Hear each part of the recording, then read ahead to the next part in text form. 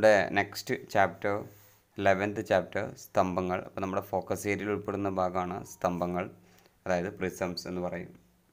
ഇതൊരു സോളിഡ്സ് ആണ് അതായത് ഘനരൂപമാണ് എന്ന് പറയും. കനമുള്ള വസ്തുക്കൾ അഥവാ വോളിയമുള്ള വസ്തുക്കളെ വ്യാപ്തമുള്ള വസ്തുക്കളെ നമ്മൾ ഘനരൂപങ്ങൾ എന്ന് പറയാറുണ്ട്.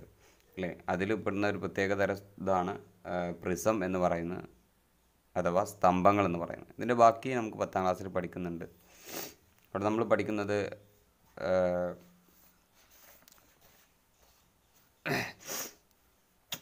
കൂർത്ത് നിൽക്കുന്ന സ്തൂപങ്ങളാണ്. ഓക്കെ അത് ആ ഭാഗത്ത് വരുമ്പോൾ നമുക്ക് പഠിക്കാം. ഇവിടെ സ്തംഭങ്ങൾ. സ്തംഭങ്ങൾ എന്ന് പറഞ്ഞാൽ അല്ലെങ്കിൽ പ്രിസം എന്ന് പറഞ്ഞാൽ അടിഭാഗവും മുകൾ ഭാഗവും ഒരേ രീതിയിൽ വരുന്ന രൂപങ്ങളെ നമ്മൾ എന്ത് പറയുന്നു? പ്രിസം അഥവാ സ്തംഭങ്ങൾ എന്ന് പറയുന്നു.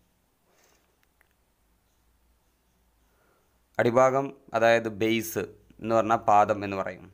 പാദം ത്രികോണം അഥവാ സമഭുജ ത്രികോണം ഇക്വലാട്ര ട്രാങ്കിൾ ആ ഷേപ്പിലാണെങ്കിൽ മുകൾ ഭാഗവും അതേ ഷേപ്പ് തന്നെയാണെങ്കിൽ അതിനെ നമ്മൾ എന്ത് പറയുന്നു? പ്രിസം എന്ന് പറയുന്നു അഥവാ സ്തംഭം എന്ന് പറയുന്നു. അടിഭാഗവും മുകൾ ഭാഗവും ഒരേപോലെയാണെങ്കിൽ അതിനെ നമ്മൾ സ്തംഭം എന്ന് പറയുന്നു. ഈ സ്തംഭത്തിന് പറയുന്ന പേര് അതിന്റെ അടിഭാഗം നോക്കിയിട്ടാണ് നമ്മളതിന് പേര് പറയാം. അപ്പോൾ ഇതൊരു ഇക്വലാറ്റർ ട്രാങ്കിൾ അഥവാ സമഭുജ ത്രികോണമാണെങ്കിൽ ട്രാങ്കുലാർ പ്രിസം അല്ലെങ്കിൽ ഇക്വലാട്രൽ ട്രാങ്കുലാർ പ്രിസം എന്ന് പറയുന്നു. സമഭുജ ത്രികോണ സ്തംഭം എന്ന് പറയുന്നു. സമഭുജ ത്രികോണ സ്തംഭം എന്ന് പറയും. രണ്ടാമത്തെ ചിത്രത്തിൽ അടിഭാഗം അതായത് ബേസ് എന്ന് പറയുന്നത് that is in the shape of a rectangle അതൊരു ചതുരത്തിന്റെ രൂപത്തിലാണ് കിടക്കുന്നത്. അതിന്റെ ബൊകൾ ഭാഗവും ചതുരത്തിന്റെ അഥവാ റെക്റ്റാങ്കിളിന്റെ രൂപത്തിൽ തന്നെയാണ് കിടക്കുന്നത്. അങ്ങനെയാണെങ്കിൽ ഈ പ്രിസത്തെ അല്ലെ ആയതിനാൽ ഇതിനെ പ്രിസം എന്ന് പറയുന്നു സ്തംഭം എന്ന് പറയുന്നു. ഈ സ്തംഭത്തിന് പ്രത്യേകമായിട്ട് നമുക്ക് എന്ത് പറയാം? റെക്റ്റാങ്കുലാർ പ്രിസം അഥവാ ചതുര സ്തംഭം എന്ന് പറയാം. മൂന്നാമതായിട്ട് നിങ്ങൾ പഠിക്കാനുള്ളത് സമചതുര സ്തംഭമാണ് അഥവാ സ്ക്വയർ പ്രിസമാണ്. ഇതിന്റെ ബേസ് സമചതുര ആകൃതിയിൽ അഥവാ സ്ക്വയർ ആകൃതിയിൽ ആണ് ഉള്ളത്. മുകൾ ഭാഗവും അതേപോലെ തന്നെയാണ്. ആയതിനാൽ ഇതിനെ സ്ക്വയർ പ്രിസം അഥവാ സമചതുര സ്തംഭം എന്ന് പറയുന്നു. The last one it's very very important cylinder എന്ന് പറയുന്നു. അഥവാ വൃത്തസ്തംഭം. അടിഭാഗവും മുകൾ ഭാഗവും വൃത്തമായി കാണപ്പെടുന്നു. അതിനെ വൃത്തസ്തംഭം അഥവാ സർക്കുലാർ പ്രിസം സിലിണ്ടർ എന്നൊക്കെ പറയുന്നു.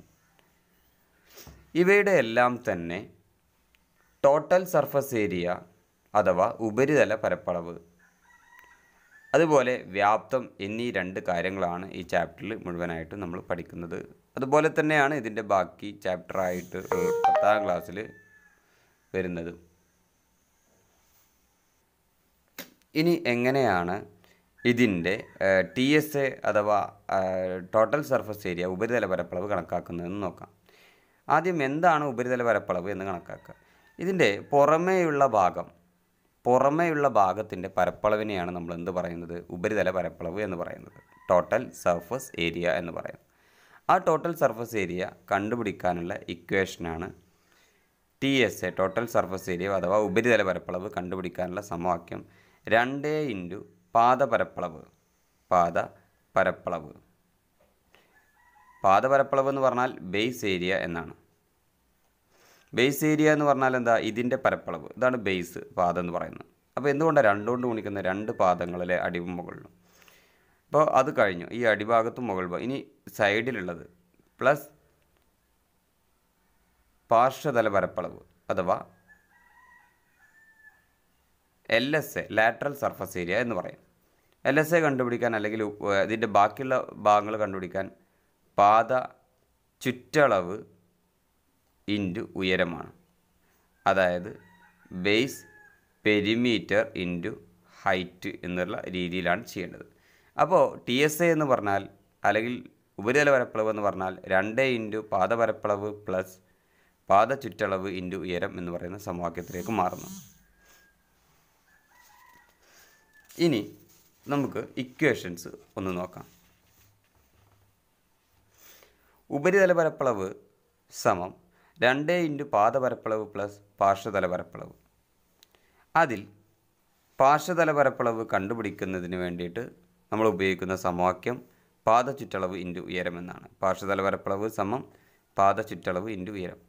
ഏതൊരു സ്തംഭത്തിന്റെയും ഉപരിതല പരപ്പളവ് കണ്ടുപിടിക്കാനുള്ള സമവാക്യം ഇതുതന്നെയാണ് ഏതൊരു പ്രിസത്തിന്റെയും ടി എസ് എ കണ്ടുപിടിക്കാനുള്ള equation two into base area plus lateral surface area that means the total surface area equal to two into base area plus lateral surface area and lateral surface area base perimeter into height okay next വ്യാപ്തം അഥവാ volume.